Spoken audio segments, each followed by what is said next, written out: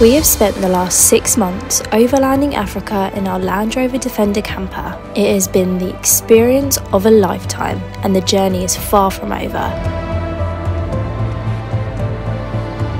Join us as we continue our expedition across this spectacular continent, discovering the breathtaking landscapes, the history, culture, wildlife, people, and so much more.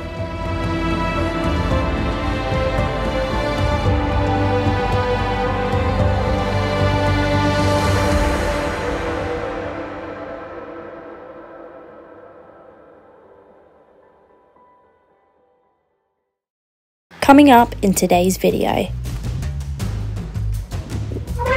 We found some lion tracks.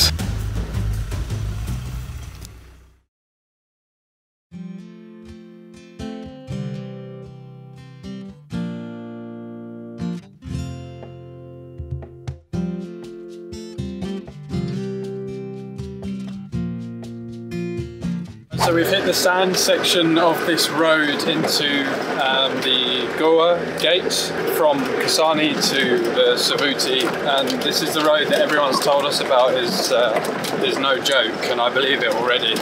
Uh, we've been going maybe a kilometre into the sand and it's deep and very, very up and down corrugated. Probably going to be pretty tough on the vehicle. It's very side to side, see how we get on. I think there's about 30 something kilometres of this.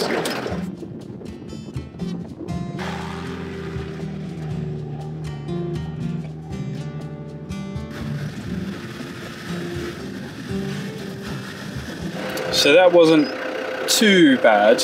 Um, I think that was around 35 k's. Um, but there's obviously there's some confusion around which road is better to take there we'll show you on a map a close-up. We took the right hand, or as if when you're driving it, it's straight on basically. The sign says to go left, but we went straight on. Uh, and you'll see on Tracks for Africa the road I'm talking about. But it's not a pleasant road, it's sandy and very corrugated. And what you find is once you get some speed and momentum, there will be some terrible pothole that you'll have to slow down for, because if you don't, you're going to hit that thing hard and break something on the car, which we nearly did a couple of times. It's not bad. Um, we were averaging about 30, 40 Ks, I'd say. So, yeah, that's our experience of that road. It's fine. We obviously haven't driven the other road. It could be better, but from what people are saying, one of those roads is horrendous and you get stuck, and we didn't get stuck, and it wasn't that horrendous. So it's probably the other road.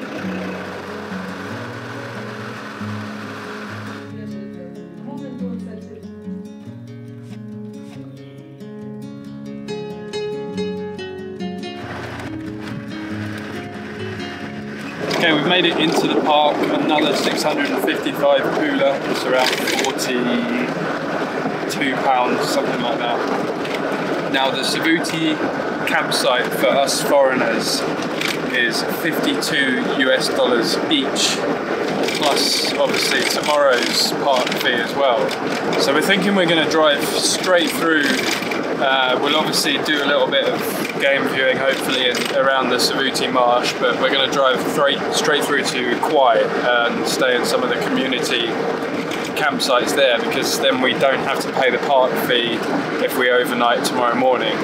Although we can still come back into the park tomorrow if we choose, but yeah, avoiding that 102 US dollars camping fee is the aim of the game here because there's just it's just too much for us. We can't can't actually afford to do that. So yeah, we're going to take a nice drive through the park and hopefully end up in Khwai.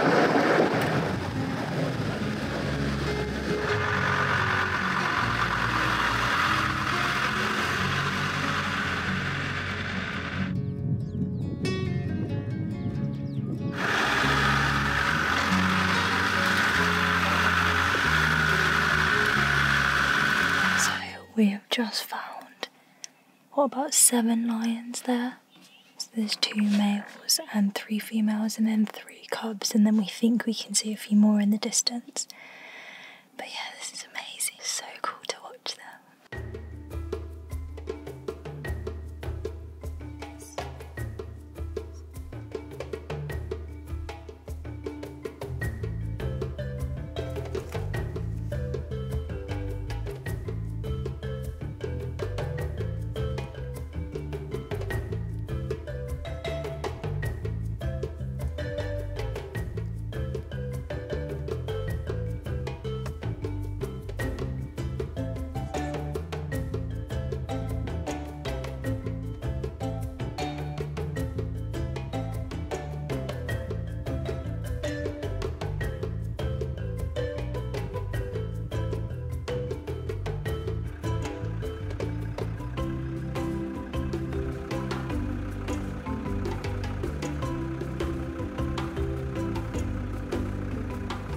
But what an incredible experience that was.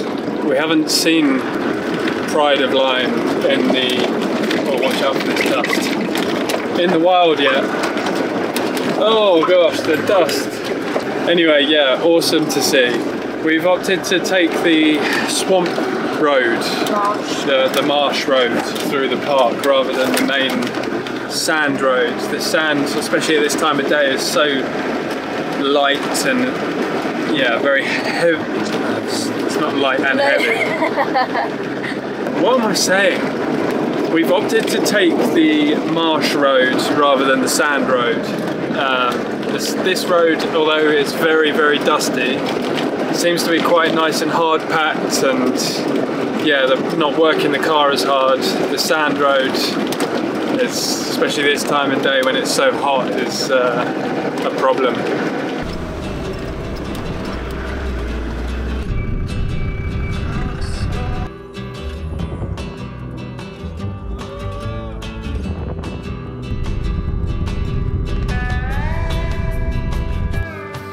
Dust. Oh my gosh.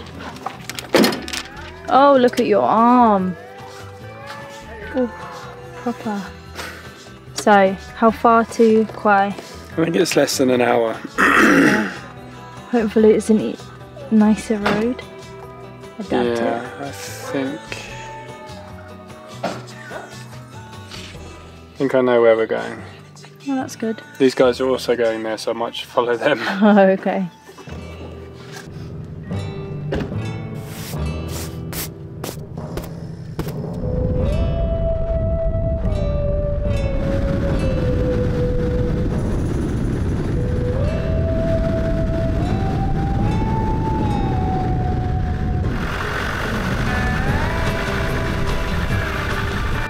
So we have made it to the Khwai community campsite. This is the Magotho campsite, and we've met up with some friends. So our good friend Johnny from back home, his dad and brother are on a camping trip with their friends here, and we weren't sure if we were gonna cross paths with them, but we have, which is really really nice. So we're gonna stay with them this evening, and I think we may end up staying here again tomorrow but they were showing us some videos and pictures of the lion and the leopards coming through their camp. Really really close. So we just saw that's wild dogs quite and hyena. yeah harry just went to sort out the campsite and saw wild dogs and hyena. So this is going to be incredible experience. We're just going to get set up have a shower because we are so dusty and sweaty and gross. And then we'll crack open another beer, I think, and enjoy an evening with these lovely people.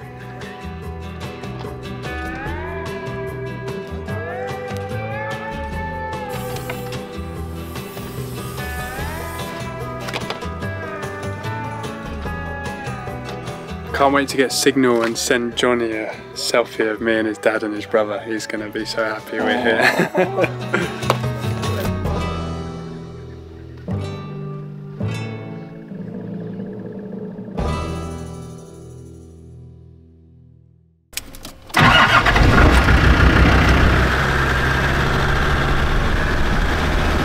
Morning, guys. So, last night we enjoyed a, a lovely, like, just Oh, so nice. felt like a family gathering, really. Yeah, it was good.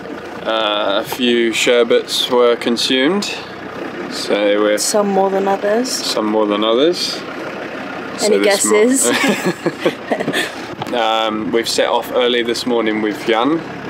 He's in the Disco 5. Beautiful, stock standard Disco 5 with a, a roof rack on it. And we've come out for a game drive this morning. As we pulled into camp last night, I saw hyena and wild dogs. And we're just following some lion tracks now. But uh, yeah, this is so. This is Khwai, uh, the community rest rest camp. Uh, Magotho, actually, to be specific, the Magotho campsite, Yeah. And it's outside of the national park, so you don't pay um, park fees here. You pay for camping, but then you can do all these wonderful game drives around You get all the wildlife. There's no all the fee. wildlife with no park fee and no tourists, really. Yeah, it's very quiet. It's really, Very quiet. Really nice. Anyway, we're gonna I'm going to show you around. show you around today. Quiet. Yeah. We found some lion tracks, so we're going to follow them. Uh, and eventually we, they should lead us to where they are. I'll pass you to Chloe, she can maybe film them. They're big, oh my gosh.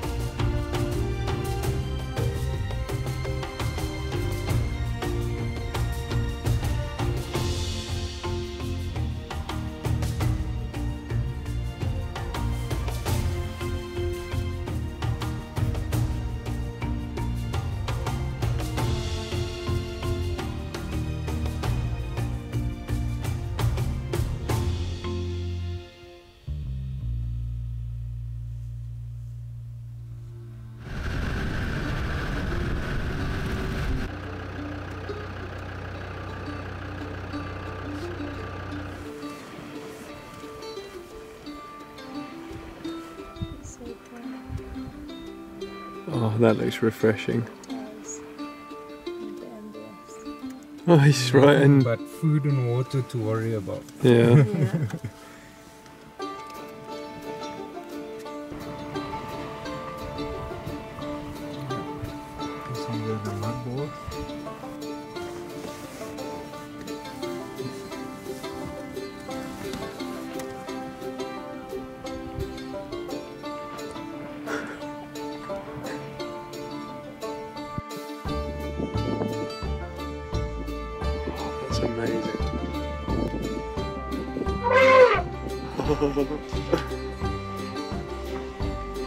Oh, good.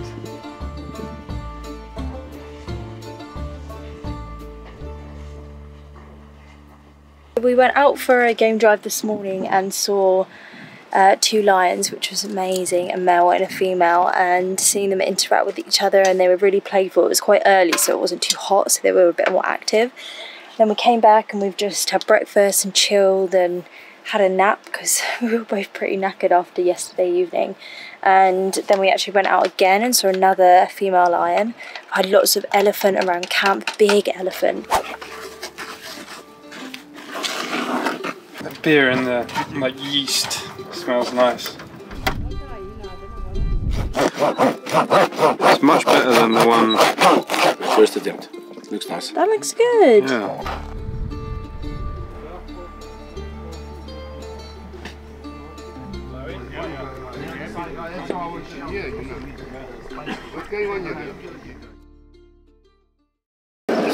So we're on the road to uh, Maun. We've left Khwai. We had an amazing time there. We saw some incredible animals. Um, I'd say much more interesting sightings than we had in the parks themselves.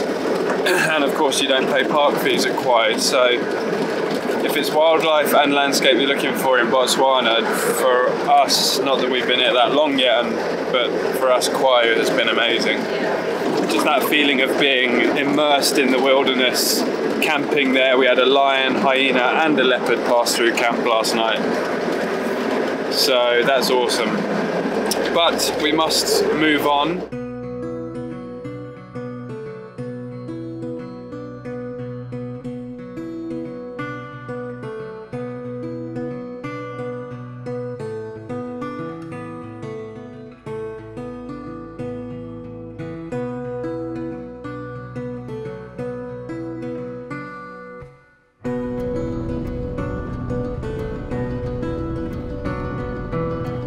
Our Landy's tyres got sprayed with disinfectant, and then we both had to stand on the disinfectant pad with our shoes before passing through. This is very common around the game parks in Botswana.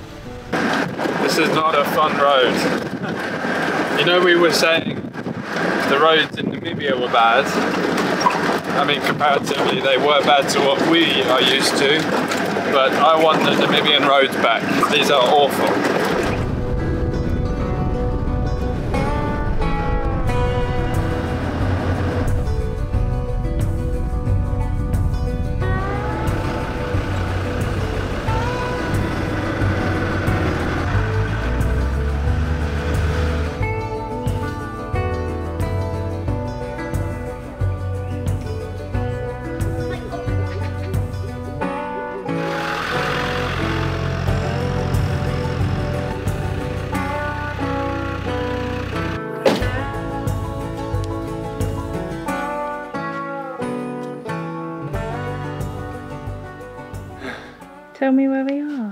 We made it to Audi Camp.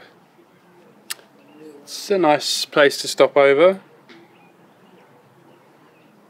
So that's what we should do.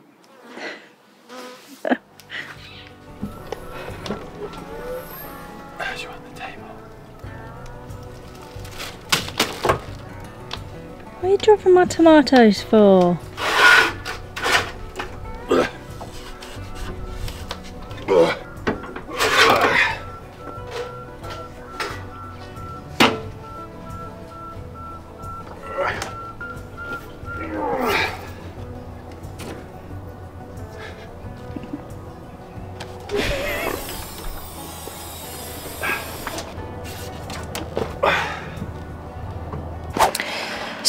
After a while, we got all of the food and everything packed away and got a little bit more organised. I decided I was going to make a cake this afternoon as we were kind of having a chilled afternoon at camp and yeah, just having some time to just do, you know, potter about, which is nice.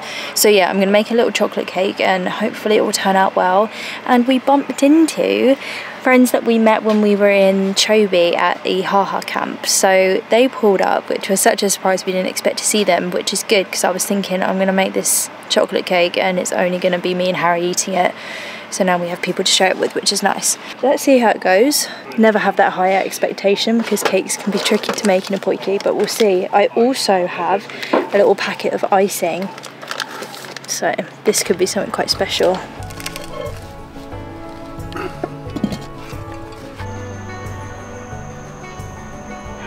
The cake baked pretty well. It was a little bit wonky. I think it must have raised slightly more on one side than the other.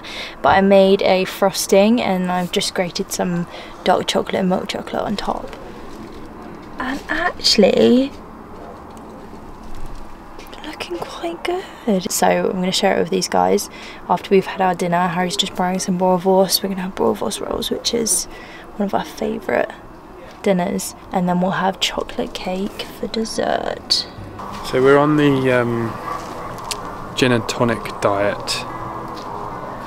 So obviously isn't going to go on YouTube. All right. What do you want me to say then? I don't want you to say anything. All right. You get some B-roll.